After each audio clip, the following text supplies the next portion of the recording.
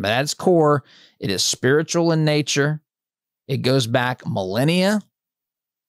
And you have one group of people that is trying to coexist with another. And the leaders of the other group, the Hamas leadership, refuses to accept the legitimacy of a Jewish state. They will not stand for that. They do not want that. They do not want to split the city of Jerusalem. They want it to be an Islamic city only. And they are prepared in, in the extreme examples to die for this.